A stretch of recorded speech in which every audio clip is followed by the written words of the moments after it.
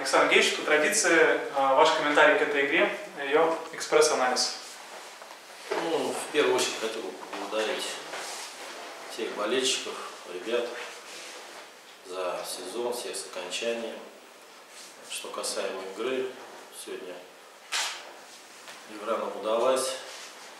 В принципе, мы контролировали игру, и хорошие достаточно атаки были. И, естественно, счет нас порадовал.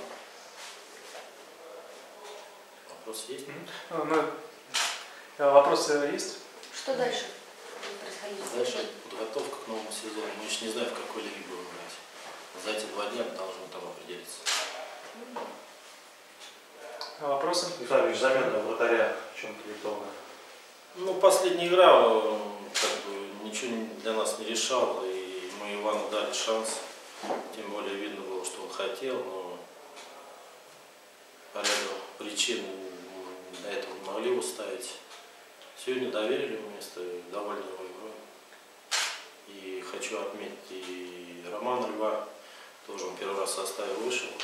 В центральной зоне достаточно уверенно сыграл. Не претензий у нас нет. Мгм. Еще вопросы? А, тогда я задам. А, Ну, я, так сказать, нашей стороны, хозяин. А, В общем, а, вы жаловались на качество игры своей команды. Но В этом, в этом матче она была лучше или нет? Ну, Чем мы не жаловались, мы говорили, что нам где-то что-то не хватает, указывали на ошибки. Это не жаловались. Сегодняшней игрой, я еще раз повторяю, мы довольны и той самоотдачей. В принципе, учитывая, что мотивации у нас особо не было, я и на установке сказал, ребят, ну, премиальный, премиальный, последняя игра, давайте и болельщиков порадуем. Порадовался сегодня самоотдачей и качеством игры, за что я ребятам благодарен. Мгм. А на этом фоне а, как выглядел Витязь? Ну, видите, команда молодая, перспективная. Я перед игрой с Андреем Новосадовым общался. И он говорил, у нас команда как бы на перспективу больше, чтобы ребята росли. И я считаю, из этой команды кто-то должен выйти. Играть рангом выше, будем так говорить. Спасибо. А еще вопросы? Что у нас с Гермашовым, Александр? Там колено, там, наверное, серьезно что-то. Надо делать обследование. Там боковая связка точно, но самое главное, чтобы крестообразная связка не была повреждена. Там стык такой неприятный был. Ну, колено, сами понимаете, это очень серьезно. Будем надеяться, что будет все нормально. А, Владислав Михайлович, если можно, итоги этого матча и итоги сезона для болельщиков подольских. Вот. Помните, что нас город смотрит. Чтобы, ну, просто по развернутой, чтобы, скажем так, все выглядело более красиво.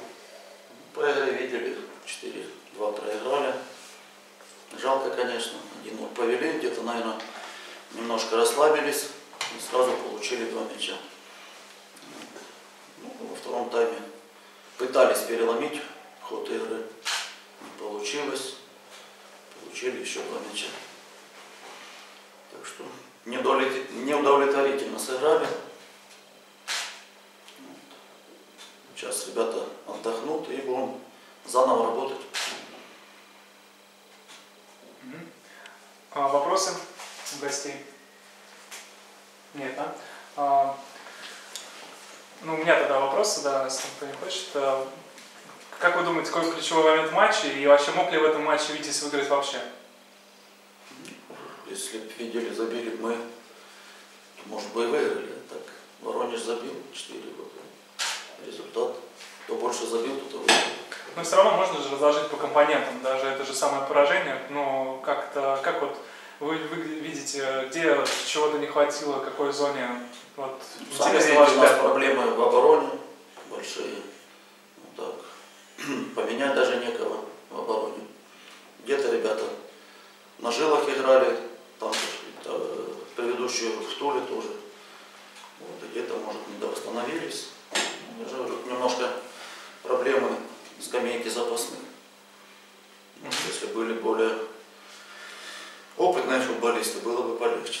Так, видите, у нас 19-летние и 17-летние сидят в запасе.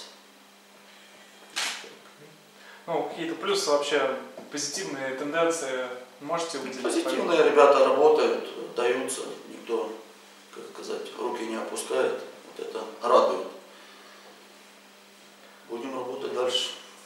Ну вот у вас внутри не было такого чувства, не знаю, может быть, оно футболистам в какой-то степени передалось. Вот эти вот неубедительные победы факела в последних турах.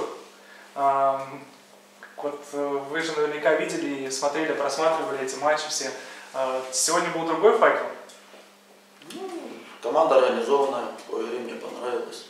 Ну, Что, что сказать? Ну, а отличается ли тот факел от того факела, который был сегодня? Ну, потому что все-таки не самые сильные команды играли с воронежцами в последних турах, и были не самые убедительные победы.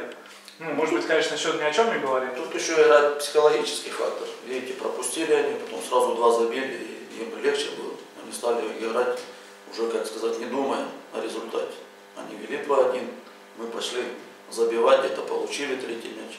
Не, ну по рисунку, просто в общих словах говорите. ну, Хорошая команда. По рисунку, то есть и в тех играх она, в принципе, неплохо играла, просто так Ну, сложились я говорю, кто больше забьет, тот и, про- тот и выиграет. Воронеж сегодня 4 забил. Вот так. Мгм. У нас бы Баранов забил второй мяч, может быть, когда при счете 2 Может что-то изменилось. А так, когда все время на жилах играть, то тяжеловато. Ясно. Вопросы у вас нет? Все, спасибо. Спасибо. Пожалуйста.